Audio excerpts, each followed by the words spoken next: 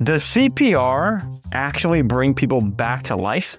Our goal with CPR, let's break it down. So, the actual compressions that we're pressing on your chest, that is to get the blood flow moving around the body because in cardiac arrest, if this is your heart, your heart is not able to pump blood because the heart has stopped pumping. When we provide compressions, we're trying to pump blood again around your body. That's the idea. Will CPR by itself bring you back to life? Man, I wish we had a 100% success rate. Unfortunately, it does not always do that. So I would say here, this is EMS myth busted. But there's a little nuance here I want to just mention. The two biggest things that we can do inside of cardiac arrest when trying to save somebody is one, running compressions, so we get that blood flow and oxygen moving.